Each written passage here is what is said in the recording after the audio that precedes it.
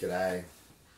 I'm doing another random dramatic reading today. This one's from um, Human Biology by Pilbeam, uh, Harrison, Tanner, Pilbeam, and Baker. It's a third edition from Oxford Science Publications, an introduction to human evolution, variation, growth, and adaptability. This was a foundational, this was one of the fundamental texts in my first year at university for the subject.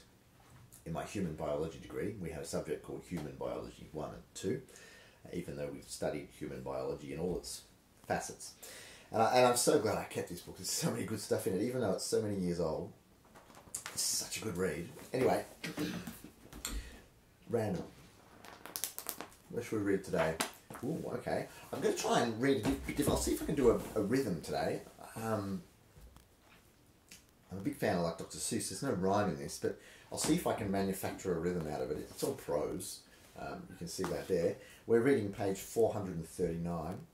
Uh, chapter 20, Human Ecology and Human Adaptability. Uh, let's see, I'll read, we'll see how we go with this page. Uh, introduction.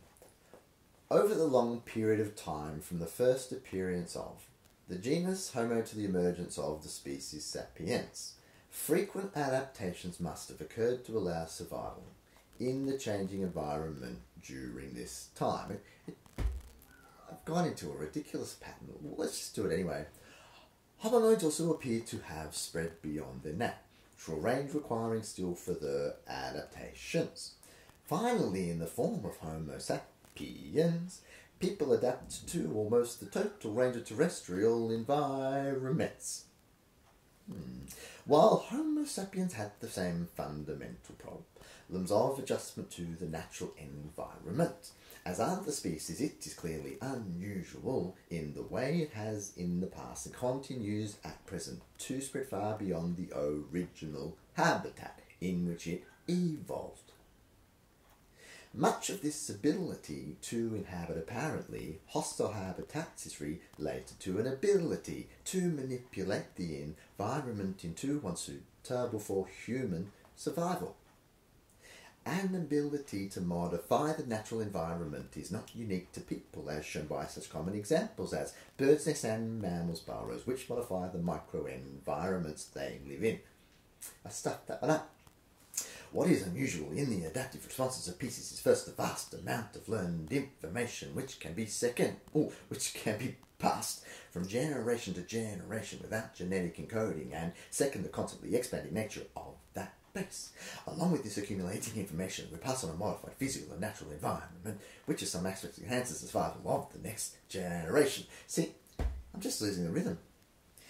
This process of transmission, often called a population's culture, forms the basic mechanism whereby populations have adopted to diverse environments. The basic biological flexibility, that's hard one. The basic biological flexibility of human populations called human adaptability also contributes to the adjustment process the term adaptability is often interpreted to. Encompass only those responses in the phenotype which are produced by the action of the environment upon. A given gene system the generic term for this ability of a generic system to produce a viable phenotype in variable environments is genetic plasticity. At the same time, the term human, human adaptability is often applied only to those responses which improve some function of the organism or population in a specific environment. Thus endeth the lesson on human ecology and adaptability. What a wonderful book. Bye now.